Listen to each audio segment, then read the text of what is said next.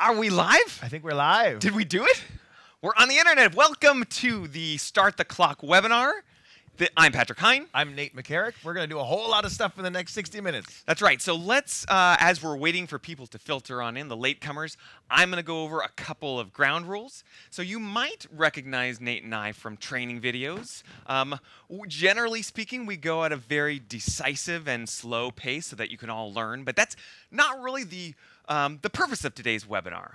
Today's webinar is all about proof of concept, proving that QSys is a software based control platform and showing that with a little bit of control knowledge, you could add an entire room full of design uh, elements to an existing conference room. Now, we are in a conference room right here. We're broadcasting from one of our conference rooms here at our uh, headquarters in Costa Mesa. However, we are not going to be connecting to all the devices that are in this room, right? We've got a TV that's already mounted on the wall, we've got microphones in the tables.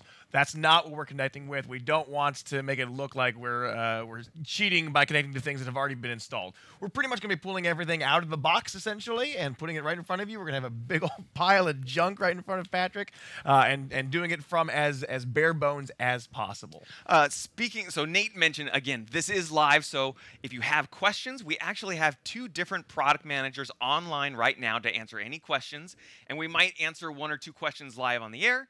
Um, and uh, Let- let- Let's look around the room real quick while while we're filming it. Yeah, We got- Yeah, got ca- let's- Hi, camera there. Yeah. Hi, camera there. How are you? Hi, camera. let's say hi over here to Siobhan.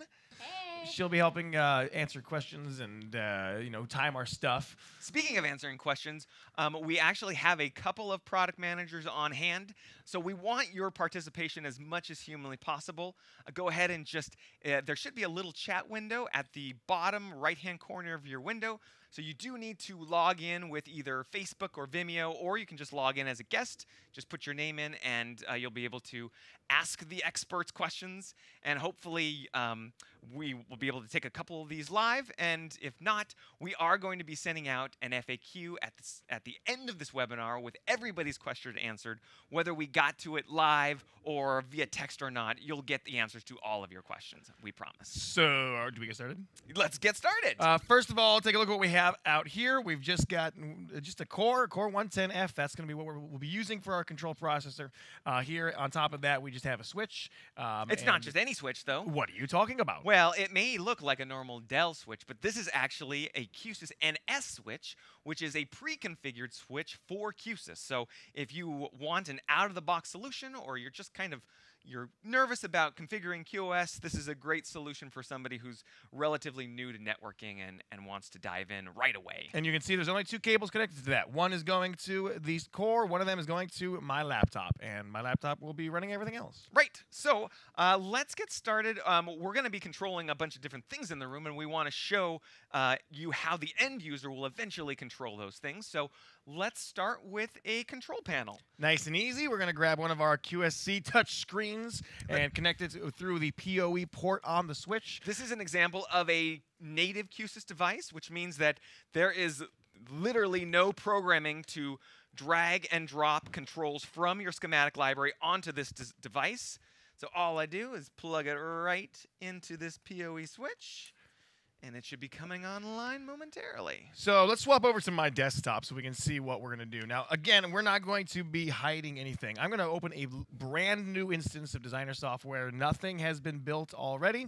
Uh, this is uh, fresh. Fresh design. I'm going to, first of all, connect to my core. If I go to my configurator window, then I can see all the devices that are on my network. My core is called 110F training. Uh, and I am going to simply take that, copy that name, and place it into my core's properties. Uh, you can also see that my TSC 80 just showed up as it was identified through the discovery protocol on the network. So I'm going to add an inventory item with my TSC 80 as a peripheral. You might notice that we've got several touchscreens to choose from, not just the 8 inch. We also have a 5.5 inch available and an 11 inch. And once these are these devices are named properly, then when I connect to the core for the first time, it will search them out and deliver that design to them. Uh, before I do that, however, I'm going to close the configurator and create a new user control interface. And I'm going to name this interface uh, "Start the Clock" because that's the name of our webinar. Uh, and by creating it, I can now go to my inventory and tell my touchscreen to display this particular UCI when it does boot up.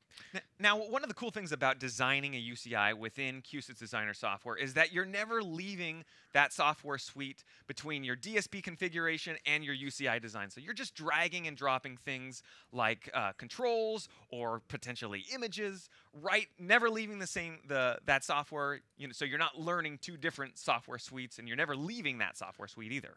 Uh, you may see that I've, I've added some layers to my UCI. I know that we're going to be controlling a camera later. We're going to be controlling some environmental controls. We're going to be controlling uh, the video options in the room and a background layer as well. These are going to operate as my different pages as we build along.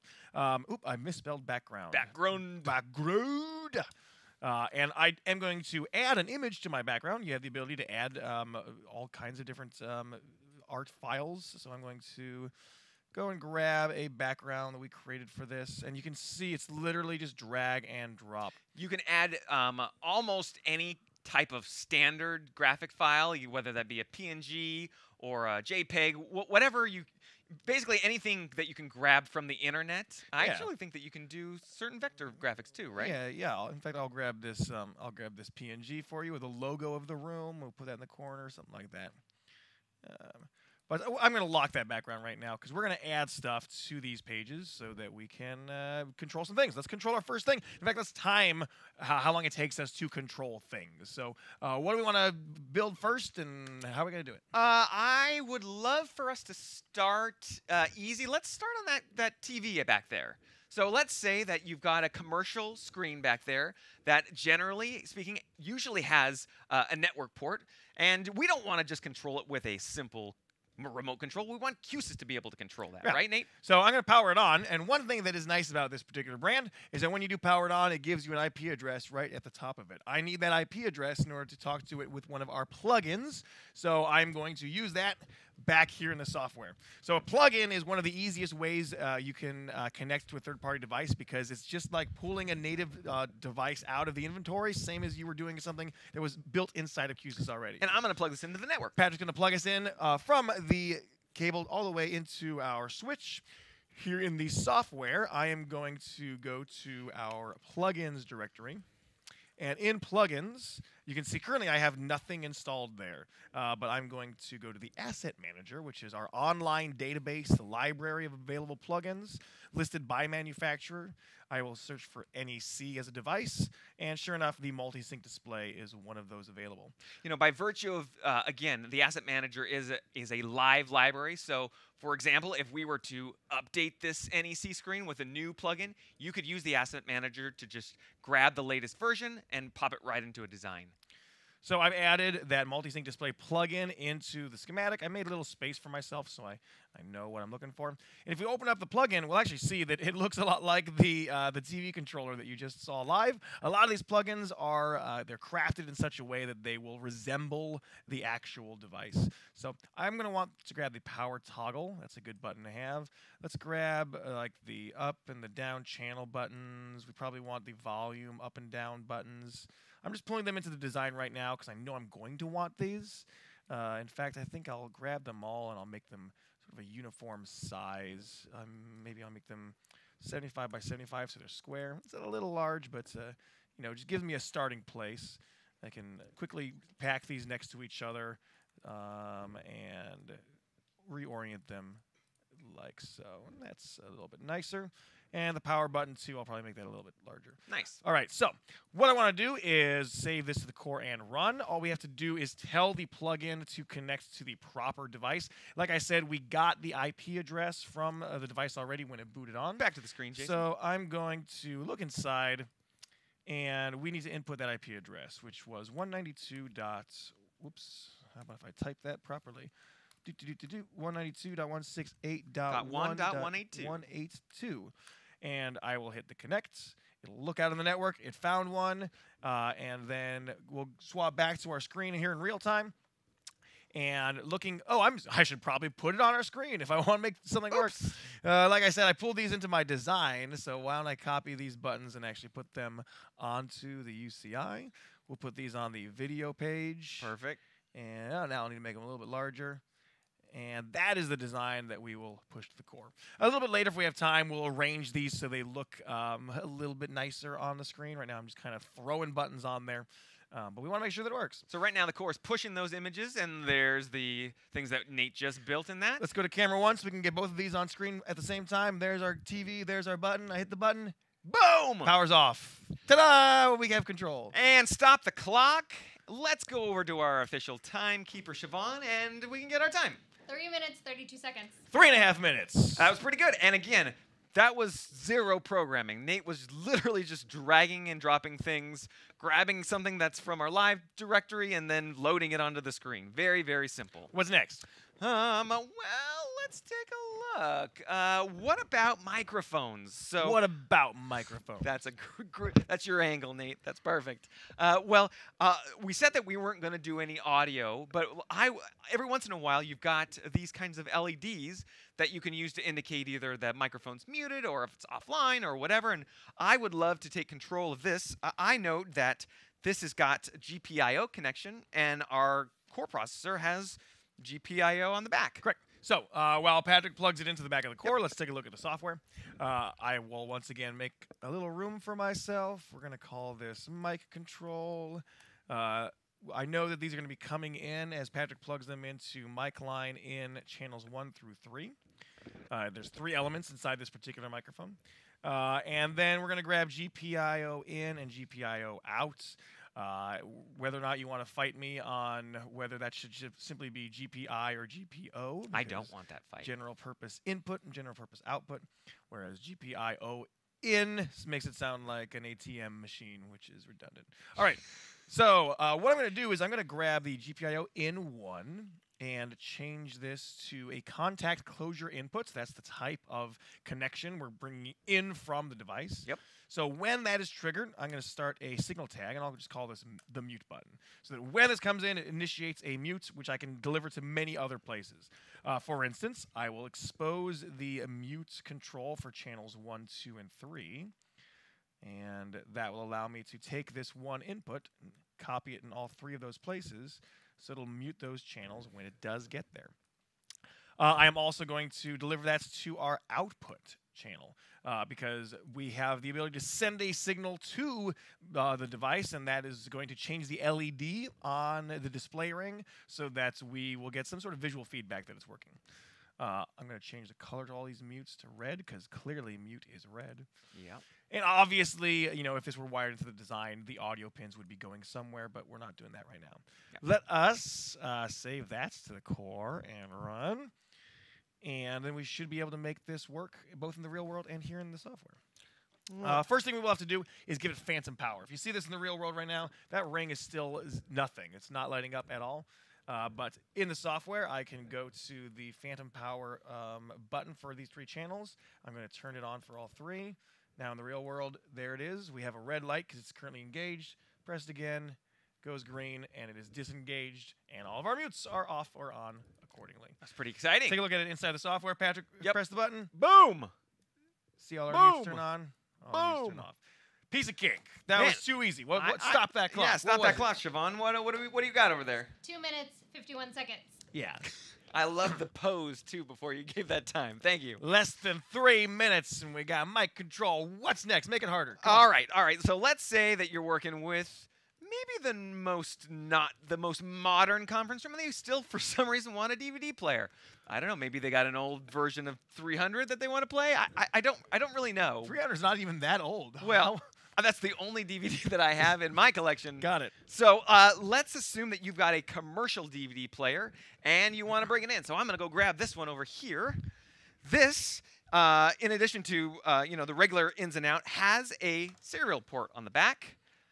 So you can see that right there. Let's get, let's hit uh, Jacob's camera right there. And it just so happens that we have an RS-232 uh, controllable output on our core. All right. So, So, this since to this go is right there. not a networked device, we have to connect it to it in a different way. correct. Um, but again, it's still not that hard. This is one of the ones that we can use a command button for. So let's look at the software while Patrick plugs all that in. Uh, I am going to return to my software. We're going to add a section that's called DVD. Actually, I'm going to call this uh, Sparta Control in honor of 300. Uh, Thank you, Patrick. You're welcome. Um, and what I want to do is I want to grab, let's grab the command buttons. Command buttons are right down here in the control components section. These allow you to send a simple string to a device. Uh, now that could be a TCP connection. If you did have a network device, you just know that IP address and send it. But in our case, it's going to be a serial connection. And when we see that serial connection, we get this little trapezoidal pin on the command buttons, which can only be wired to the serial port of another device. So here's our wired connection internally to QSYS. Uh, Patrick has made the physical connection out there in the real world. Yep. Uh, I'm going to open up this section. I know in here I need to configure it properly. I need to give it the right baud rate and parity for this serial device. I'm, here I'm going to input the command that needs to be sent, and then when I press this button, that command will be sent. So first I'm going to grab this button, we'll drop it onto our UCI, and that way I've got it all ready for us. We'll make it a little bit larger, and we're going to have this button be the one that opens and closes the tray, the, the, the disk tray. So open So small. close tray. And clearly, like Patrick said, we need a larger font for that. Let's make it something like 32. That looks better on a nice font. I'm going to round out the edges just a little bit. That's a little bit prettier. Uh, but that's the easy part. What's the hard part? The hard part is figuring out what to input here. So, how do we know what the baud rate is? How do we know what command we need to send for this device? Nate, I hear the internet has things. I hear the internet has things. That sounds like an easy way to get into a lot of trouble. what what's uh, what do you want to find on the internet? Well, I, I feel like if you went searching for I'm looking for the things. Yeah, I, for I want you to search for this device. The, it's a Tascam okay. DV dash DV D01 dash D01 U. U. Okay. Well, I had a lot of hits on it. Let's see what we find.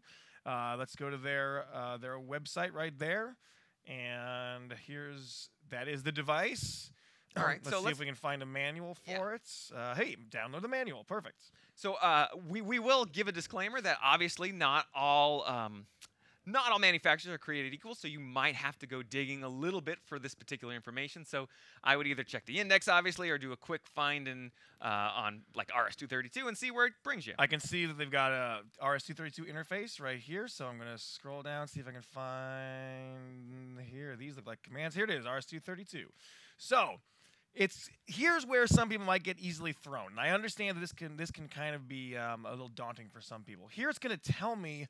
You know, a couple different things. It says, here's the code you want to enter, but then there's this, all this other gobbledygook underneath it. Well, when you want to send commands, like if the command is ply for play, unfortunately you can't just type in ply. You've got to deliver it in a language that the uh, receiving device understands. And in this particular device, it understands hexadecimal code. So it gives us the translation for these right here. It says, here's your play command, and here's what it looks like in hex. Uh, but even this may still not be what you're looking for. Let me zoom in a little bit. Because you can't just type in 02H, 3EH, 50H. That's not that doesn't make sense on the on the uh, QSYS side of things because QSYS is using Lua as a language and it needs to be able to translate code into hex in a slightly different way. So in order to do that, we are going to have to use its protocol, which is something called backslash x. Uh, so I'm going to throw my uh, my commands on one side of the screen, and I'll open up QSYS on the other side. And uh, let's look for our open. Oh, it's right there. Open close disk tray. Here are the commands we need to enter. I'm going to translate them over here into Lua by using backslash x and then the code it, it- it's asking for. So 02h turns into backslash x02.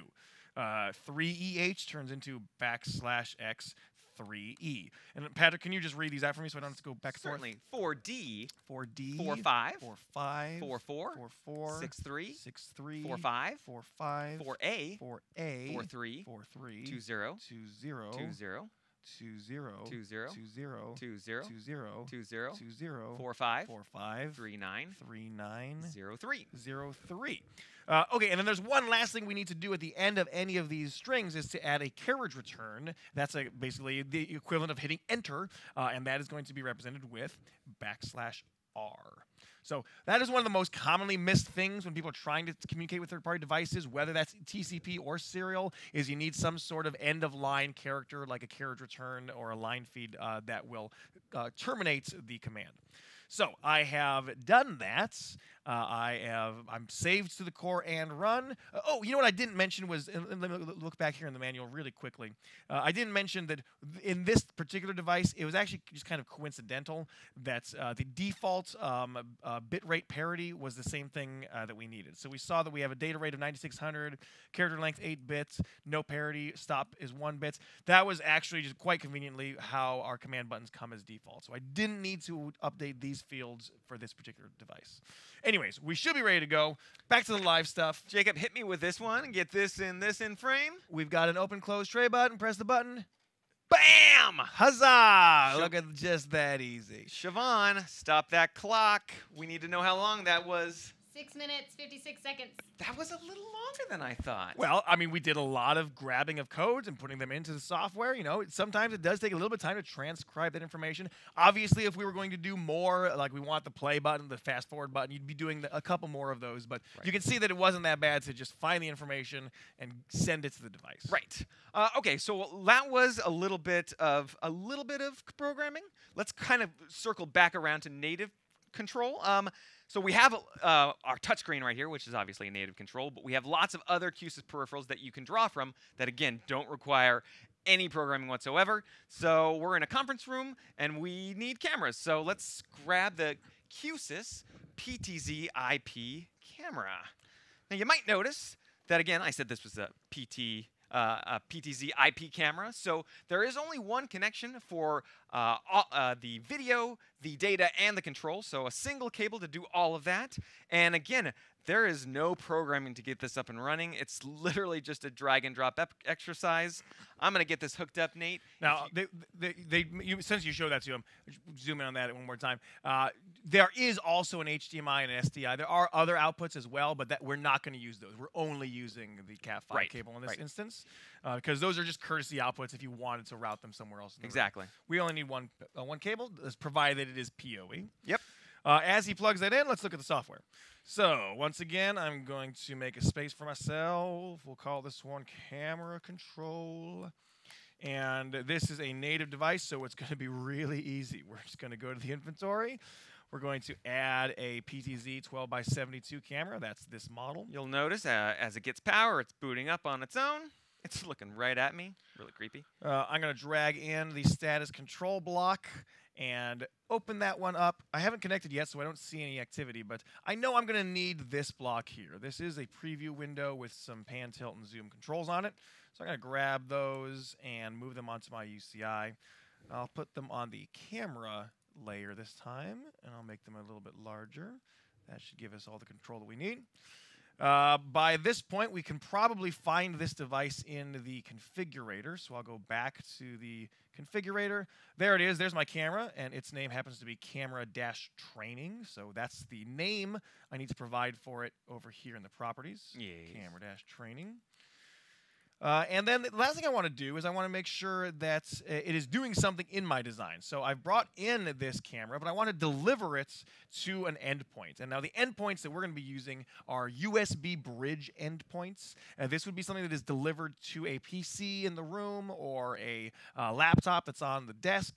Uh, you can find you can add that bridge uh, through one of our uh, dedicated USB bridging peripherals, or there's one that's right here on the core itself. So I'm going to add a video bridge and wire my camera to it.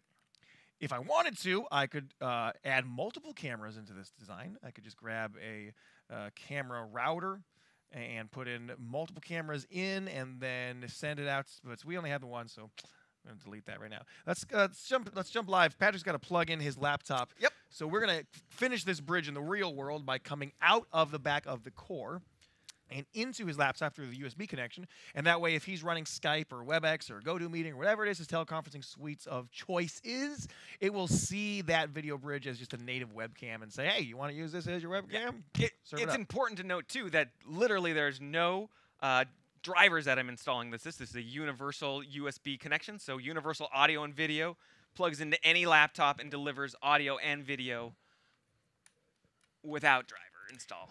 And by this point, our design is up and running, so you can see if we zoom in on our screen. Here is that uh, that preview window that I showed you earlier. You may think to yourself, "Hey, it looks a little bit choppy." Again, this is just a one JPEG per second preview window, uh, but you can see pull out a little bit so you can actually see the camera itself. I can fully control the camera using those controls, and there's with what the actual feed looks like in the uh, a camera app or teleconferencing app Hit this real Um, close, Jacob. in the real world. So, looking pretty good. Maybe I, maybe I, no, you stay where you are. I'm gonna zoom in on you. No, fair You enough. keep you keep right where you are. Mm. Dun, dun, dun, dun, dun. Hello. That's looking like your nostrils. So close. No. we're keeping it right there. This is ah, look at that No. autofocus too. All right. Anyways, so stop the clock. That was our camera. How much? How long did that take us? Four minutes and 14 seconds. That's- Four minutes and 14 seconds. He didn't even have to eat a burrito. I'm I'm disappointed actually. All right, so are you ready for the next thing? No, Okay. I lied. What's up? Okay. Uh, so we have positioned ourselves very strategically in front of this shade control. It's a pretty um, pretty standard sh- shade control, and it doesn't have uh, an internet connection or uh, pardon me, an Ethernet connection. Now, I, so we did say that we weren't going to control anything in the room earlier. We did lie about the shades because we didn't have we, we didn't have the ability to put a somehow a shade control right here. So, I didn't lie. so we pulled the we pulled the He gimbals lied. out to get access to that one. Yeah. Uh, all right. Uh, so if we don't have a plug-in for a particular device, we might have a plug-in for a device that can talk to that device. Yep. I want to show you something about um, called the Global Cache. This is a, a good little uh, manufacturer. I probably shouldn't call them little. They're a big manufacturer. Yeah. Uh, that makes little devices, uh, like this guy right here. Look at this cute little thing. What it does is it just gives us the ability to send relays to another third-party device by sending that Global Cache commands uh, over the network. So this device has got the uh, the Cat5 connection, and it's basically just sending a simple connection to the shade control. So I'm gonna get that plugged into our switch. Well, uh, we take a look at my software. Yep. So let's take a look here. I'm going to call this one Shade Control. I once again need a plugin, so I'll go to the Asset Manager. And we'll search for Global Cache as a manufacturer. There we go. Uh, right now, I'm going to install this one, the Contact Closure Relay. Uh, you can, can actually even see this is the device. That's the device Patrick showed you just momentarily. So I'll install this plugin. Never takes more than a couple seconds to install. While I'm here, I'm going to also install the control tower. Oh, you know what? I didn't show that in our earlier um, our earlier webinar. I'm going to make sure to show it this time. Um, install both of these, and I just of want to show you something fancy that Global Cache can do just a little bit later. All right, so here we go. I'm going to add my relay device here. Uh, inside of it, uh, there are three buttons for the three controls on that device. So I'll put those onto my environmental layer here on the UCI. I don't know which one is up and which one is down, so I won't I won't label these yet. But let's just put the buttons there, uh, and then I will save the core run. Now this one is super nice because it just automatically works no matter what. Um, it's just it'll search out that device, and I can I don't need to put in, in an IP address or anything like that. Um, but here in the in the software, I do need to make sure I am connected. So uh, I can see that it found one on the network. That is in fact the serial device of ours. Bam. Easy. Uh, I hit connect. It is connected. Cool. Let's go to the real world. Uh, and then again, don't know which one's which. This might be up. Yay! hey! Hey, the shades are going up. Uh, let's go down. Yep, that looks that like down to me. You might Oh, say uh, that. stop, stop. I don't want to crush the plant. You might say that you're casting shade, throwing shade. Is that what the kids say? Uh, the kids don't say it. Oh. Um, the kids, the kids. Uh, you, I, I tried to make shade reference. yeah, you said the word shade. That's pretty much as close as you got towards anything resembling either kids or a You're reference. welcome. Casting shade. That's just what the sun does when you're standing in front of it in an object. I heard it on Jeopardy. Throwing shade was what you were going for, but it's more. Of, enough. it's more like this. Oh, That's throwing shade. I'm gonna take a note. The kids are all going crazy now for my shade look. What was the time on that? Well, it probably would have been a lot faster, but I'd say three minutes and 30 seconds. Oh, that's pretty good. That's pretty good. Three and a half. With that extra 30 seconds, I want to show you something else that Global Cache can do. Uh, so I showed you that control tower thing. This is super cool. Uh, grab control tower. If you want to connect to something that's using an IR device, uh, then here's what you might use. Uh, because you can have you can look at Global Cache's uh, library of their devices, and they have tons and tons. So, looking in the control tower, I'll go to their online database and connect to the database.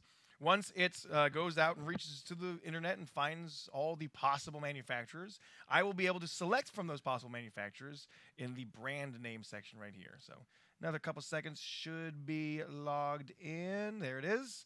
I will scroll through these brands, and you may notice that there's so many brands. I believe the correct number is eight trillion. Is that right? Eight Well, trillion brands. I looked it up in the press release. Uh-huh. We, they actually give us access to over 200,000 devices. Two hundred thousand. That is a very cramped meeting room. Uh, so yes, so I'm gonna grab something that we'll probably know. How about Apple? We'll go Sure. Apple, and I will choose uh, a media manager. We'll grab an Apple TV.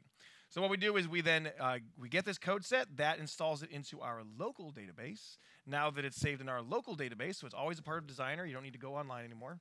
Uh, I can pull up that code set. We'll just copy this into our uh, IR version over here into that um, code set uh, re- receptacle.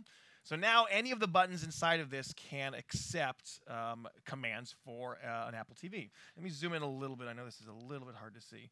So, for instance, this button is going to access the Apple TV code set for uh, the menu button. And this one's going to activate the command set for the uh, play and pause. And Got then it. these buttons automatically up here will now do that for you. Uh, Let me just let me add their names to it.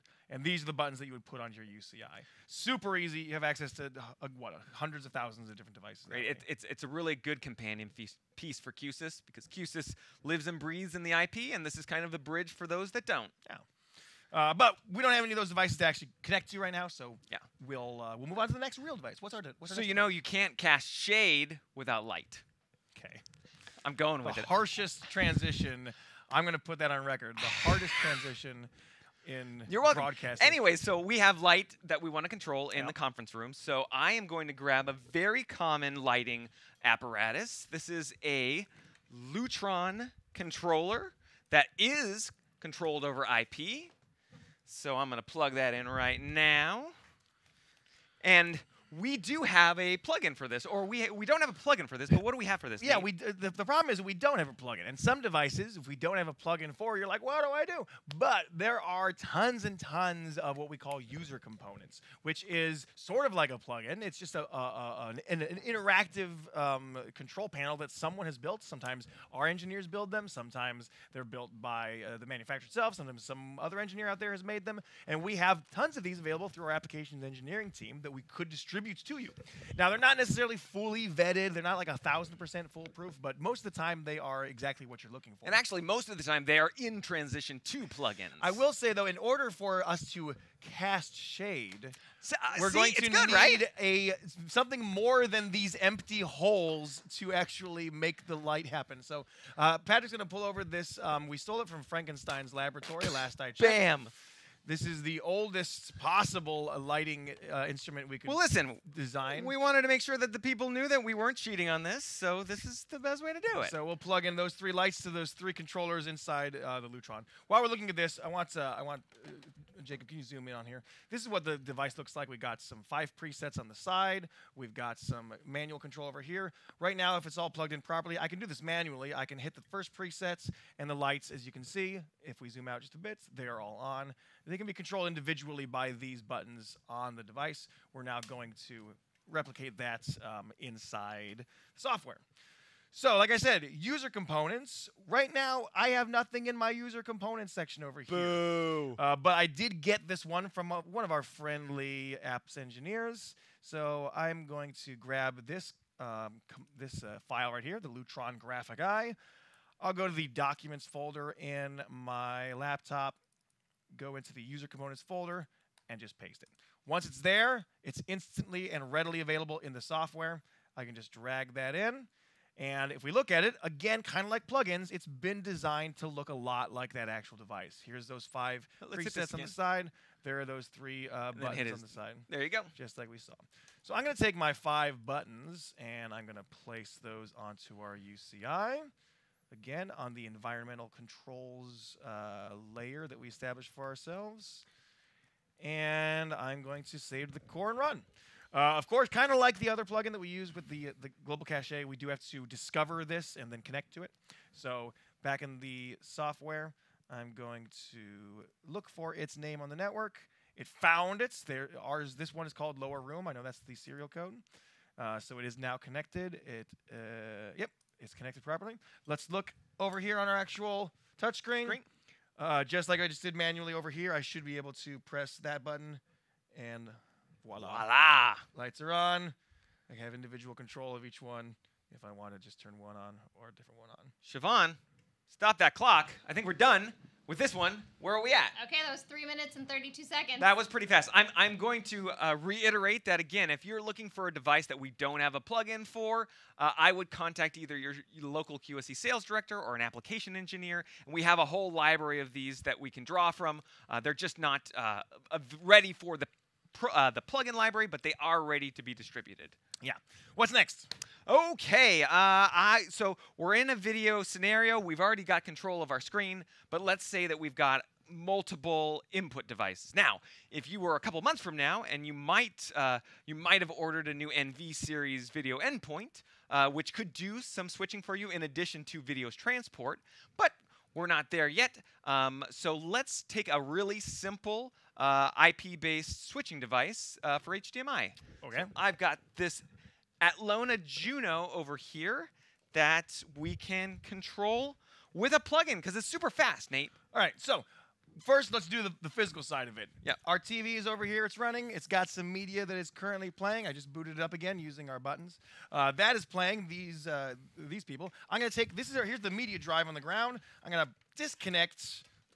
And we'll take the TV. We'll now get its input from the Atlona HDMI switcher. You got it.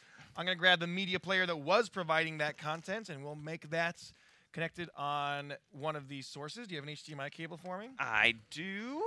We right have here. Two sources now. One source is playing one of Patrick and I, one of our videos, and the second one will play uh, another video, so we can toggle back and forth. I'm just plugging in down here. And boop, doop, doop, doop, and that. Oh no! I got it. down.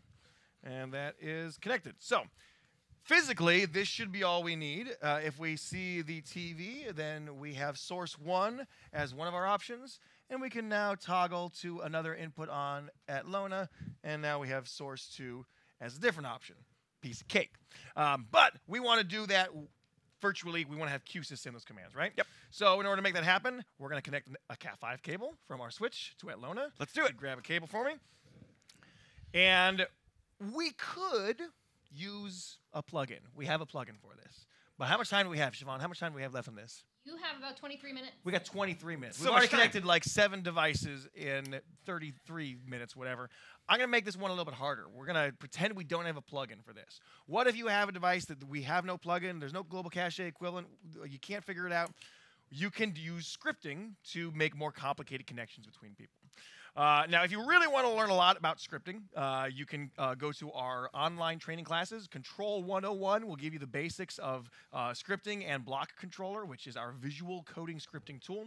Uh, you could also uh, take our in classroom session called Control 201, which goes an extra couple steps beyond that. Um, I'm going to not teach you any scripting. I'm going to show you the scripting because, again, that's the whole point of this webinar, But once you are amazed by what you see, we encourage you to go do that training. obviously. So I'm going to make another space for myself. This is going to be our video router control. And I'm going to go to the scripting components branch of our schematic elements library and grab in a block controller. Uh, and I'll zoom in a little bit over here. The block controller is, like I said, it's our visual coding arena. We are going to add a couple of uh, elements into it. First of all, I want a button that is going to change us to source one. So that's going to be a trigger button. I'm going to add another control that will change us to source two. That is also going to be a trigger button. I'm also going to add a connection because I need to communicate with a TCP socket to that device. And by adding that, I've created it. So let's go into the edit field for our block controller. Uh, here's our controls. When control one is pressed, then this block is going to be initiated. So when control one has been uh, has received a change, it will do a thing. The thing that I wanted to do is I wanted to send a write command to our connection. So looking in our connection, here's our first block that will write a command. Uh, what is the command that we're going to send? Well, kind of similar to what we did earlier with the DVD player. You would have to find that device's uh, manual, maybe hunt around to find out what its string and send commands are. This one I've worked with a couple times before, so I just know it off the top of my head. The write code happens to be uh, X1, AV X1, and then, much like before, carriage return. That's a backslash R. So I've put that in there for my first button. I'm going to just copy and paste this whole block, and we're going to make it true for our second control. And that is a slightly different command. It's going to be x2 avx1. Uh, and then I also just want to make sure that I've got a little bit of feedback in my system so that when uh, when I press a button, I have proof that it worked, that the, the script's reporting back to me what it's doing. So I'm going to add uh, a debug print, just shove it into these blocks. Just best practice. Yeah, that way that uh, I will know that uh, you know button was or button one was pressed. So if something doesn't go wrong, I just kind of have a nice way of troubleshooting at what point it went wrong. Oh, I don't need that. I just need Hey, delete that. Just need button two was pressed. And then other obvious um, best practices is that if the device itself is sending me information, I want to know about it. So when the connection receives a message with, uh, and I'll choose any as my end of line table, I'm going to display that message. I'm just going to put it in my debug window.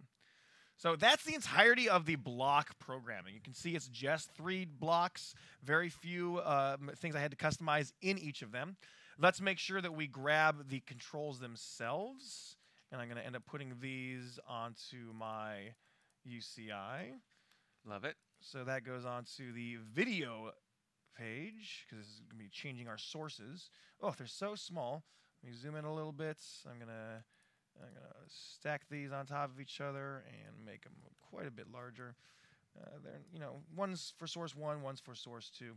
Uh, and that should be, once we connect, all we have to do. Uh, the last step, of course, is to make sure that we have the correct uh, IP address and the correct port that we're going to communicate on. Very similar to what we did for the you know the baud rate and the parity for that DVD player. We, that's information that you can you'll be able to configure the IP address on your own, and the port is something that you'll need to find yep. from the manufacturer. I know that mine happens to be uh, the port is 23. The IP address is 192.168.1.183. And you can see once I've entered that, it goes to a green OK status. If we go to the live footage of our actual touchscreen, if we can see that with the screen in the background at the same time, then I should be able to. Oops, I may. Uh, we're currently on source two, so if I go to source one, Ta-da! It worked. It toggled over to our other media source. Amazing. And I can go back again. So we're Boom. done, right? So what's the time on that? Seven minutes and ten seconds. So we're done, right? Seven minutes and 10 we're seconds so done. for a device you had to script for. That was too easy. Thank you for coming too to the easy. webinar. What? Too easy. We're gonna make it harder. No. What if you didn't have block controller? What if you had to really dig deep and use some codings? We're gonna write. You have to be a really smart person, time. right? You don't have to be a smart person because I can do this. Burn on you. Take that, me. All right. So I'm going to do this exact same thing one more time. Rather than block controller, I am going to use uh, our Lua scripting engine. Yep. So we're going to grab a text controller instead. The text controller is like the block controller. It allows you to add controls. I'm going to once again add two different control types. We'll call the first button source one, and it'll be a trigger. And then I'm going to add another one that's called source 2, and that is also a trigger. And again, we'll put both of these buttons onto our UCI. I'll delete those block controller ones and paste these guys instead. And this time, all you got to do is go into, I don't need that, I don't need that. All you got to do is go into the edit button of the Lua and then just type in the scripts that um, would make this thing work. That's it. You're done. Just type in some Lua. Oh. Easy peasy. Uh, now, if you don't know Lua off the top of your head, well, then that big black void of death could look pretty intimidating. Uh, again, if you go to our classes, you can learn them. But what I'm going to do is I'm going to show you that you don't even necessarily need to always know that stuff because we give you some of that in the help file. So back here, I'm going to delete my magic stuff. Let's go to the help file. I know that I'm looking for TCP sockets. TCP socket is the connection that's going to be made for a TCP device. I go to TCP socket, scroll all the way down to the bottom, and we have some example scripts that are already functional. So I'm going to grab this entire script right here, and I will paste that into my Lua scripting edit window. Uh, I there are a couple things I need to edit. It's not going to magically work off the bat, so you obviously need to know a little bit. Uh, I need to correct the IP address, which is 183. I need to adjust the port number, which for this device is 23. And then down here at the bottom, let me zoom in a little bit. Down here at the bottom, this is what's happening when the button is pressed. So right now, when input one control is engaged, its event handler creates a function that writes data on this connection. So I need to do one, uh, a couple of different things. I need to make sure I'm targeting the right control. I need my control source one. And I need to make sure that the data that's being sent is the right data, which if you'll feel remember was X1 AV X1 carriage return. That is all I need to do for that first button. I'm going to copy this and then paste it below and we'll update it so that um, it makes sense for our second control, which is source 2, and we're going to activate input 2. Uh, and then, like we did earlier, if, if I want to add a debug print, I can make sure this says, you know, source 1 is active, uh, and I'll put that down here as well. So that's as the uh, as the script runs, we have some track of what's happening. So that's all that I really had to write right for Lua. Uh, let's see if it works. We're going to save this to the core, and this should work the same way that the um, that the block controller worked. Uh, two of our buttons on the UCI should be able to toggle my sources by controlling that loaner that's going to our NEC screen. There you Here go. we go. I believe we're currently on input two. So if I go to input one, voila! It. Amazing. Back again. Uh, if you wouldn't mind, uh, because a lot of what Block Controller provides is a bridge between putting blocks together and doing actual scripting. And Block Controller uh, facilitates that by basically allowing you to see the work that Block Controller did. So if you open up the Block Controller and you click Edit, it will. Um, it will let you get access to the actual Lua code that's in there. So here's all the Lua that's being generated by Block Controller. A lot of this is just managing that TCP socket connection. But if we go to the very bottom, here's what it wrote based on those blocks we made for our controls. So you can see when control, in fact, it's right here. When control one is activated, we start an event handler, launches a function that writes this command and then prints out, hey, button one was pressed. That's the exact same thing. In fact, I'm going to copy this. Exact same thing that we did over here in our Lua. Oh no! Oh, I grabbed the wrong thing there, but I grabbed there. It's just right above it. So, uh, if that makes sense to you, it's it's all the same um, code. It's just you can use one to learn the other uh, by toggling back and forth. Yep. So, Nate, we've got. Uh, uh, first of all, Siobhan, we did not ask how long that took. I apologize. How, How long did it take? How long did that take? It was about four and a half minutes. About four and a half. Which one was faster, block controller or this? Lua was actually faster. Ah, okay, If you know what you're doing. fair enough. Well, we've got a little bit of extra time. I did want to show, uh, uh, have Nate demonstrate how robust the UCI designer can be. We've, we've demonstrated little bits and pieces. Uh, we've built very basic shapes, and we've drug a, a background back in here. But um, there are a few additional uh, design things that you can do with buttons. Like, for instance, if you if you're good at Photoshop or you know somebody that's good at Photoshop and you want some custom buttons, you can skin these graphics on top of your Q-SYS elements. Sure. Uh, let me show you that. So let's take a look at these source buttons that we built. So we have these just these ugly gray buttons right now. If I want to put a special graphic on there, I would just select one of my buttons. We'll go to its properties, and we're going to change its style. Currently, it has a glossy style. I'm going to change that to an image style, and I'm going to uh, provide my own image. So let's load this source one on image, and when it's off, it can have a source one off image. We'll do the same thing for this second one. We'll make this source 2 on and source 2 off so that someone else made these buttons for us. We just got to kind of make them a little aspect ratio look a little bit better there. And now we've got our own custom images. Um, you can do a lot besides just, you know, if you don't want to use your own graphics, you could still use some of the graphics that are embedded in the software. So we have um, uh, icons, for instance. Uh, I could grab this and I can grab an icon. Let's give it a power icon. These are all these are all all native to the software, A- and uh, maybe I'll make this a little bit larger, and maybe make it a little bit rounder. Uh, feels a little bit more friendly that way. These buttons over here, these icons are kind of kind of dangerously large, so I'm going to add a padding to them. If I give them maybe 20 pixels of pad, then that shrinks down a little bit, maybe a little bit more.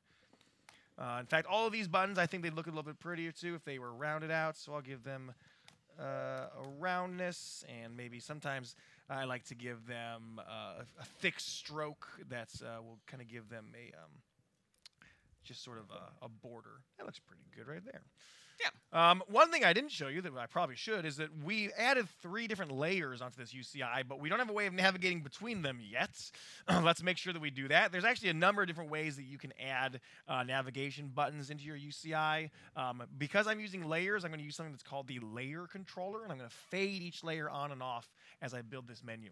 So if I go, let's make one last section here that's called uh, layer control.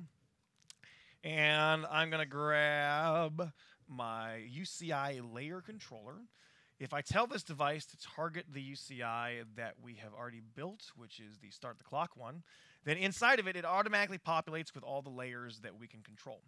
I'm going to expose the camera layer visibility, the environmental layer visibility, the video layer visibility, uh, and I'm going to control these with another device. Because if I wanted to, I can make all these layers visible at the same time. Uh, there's a lot of reasons you might want to have lots of layers on on your screen. In my case, I've built these sort of like individual pages, so I don't want that. Uh, I only want one on at a time. So I'm going to grab the selector tool. Selector tool gives you exclusive buttons which work like radio buttons. You know, only one can be on at a time. So if I say I have three options, then I can put these three buttons on my UCI. Uh, I'm going to open up the selector one, two, and three control pins to control my UCI's visibility. And now we'll make these three buttons and we'll put them on the side of our UCI like they are navigation tabs.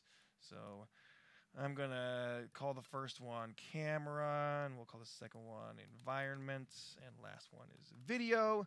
Obviously, those are all tiny. I could use uh, icons for these instead. Um, but for now, I'm just going to pick a larger font, something a little bit friendlier. Uh, in this case, I'm going to make them have them really dark a button when they're off, and I'll give them a nice happy blue when they're on. So happy. And let's take a look if that works. So I'm going to push that to the core. and we should have full navigation control on our UCI as well as all of the controls for all the devices that we made throughout the day. Let's go wide here, Jason. Show all of our devices. And in fact, I'm going to make uh, inside the software, I'm going to change their transition style so that they fade up and they fade down. Uh, and that's going to make our transitions a little Yep. bit nicer in the real world. Uh, oh, one thing I should probably do is make sure that at the top one of them, at least one of them, is active. Uh, there we go. And I want to make sure that my background. Oh, here I made a mistake. I made a mistake. How much time do we have left? I have one minute to fix it. You can do it. I have eight. We have eight minutes still. Wow, we flew through this one. Uh, when I added these buttons, I accidentally added them to the video page, which means that you only could navigate to another page if you were on the video page. So I'm going to cor- correct that simply by grabbing those buttons and I'm going to drag them onto a different layer. And now they looked visually the same on here, but they are now part of my background layer. I'll lock that off so that way the background layer will always be visible and I can see it from any of the pages. So that is what we'll push to our design, and we can go back to making sure it all works. It's a very nice presentation of the, the UCI here. So I'll touch my camera layer, and look, it fades up nicely. I can control my camera Bam. right there. I'll go to my environmental layer. I've got my shade control. I've got my lighting control. There's my lights. Go to the video layer. I have the ability still to change the sources on my uh, uh, touch panel over there. I can power it off entirely. Uh, I can open and close my tray. Voila! I think we did it all. We did it all with plenty of time to spare.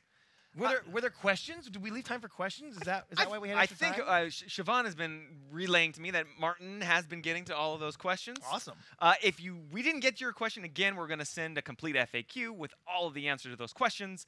If you want to learn how to do all this, I don't recommend watching this video. I recommend going to uh, training.qsc.com, taking all of the control training. You can learn all of this and more.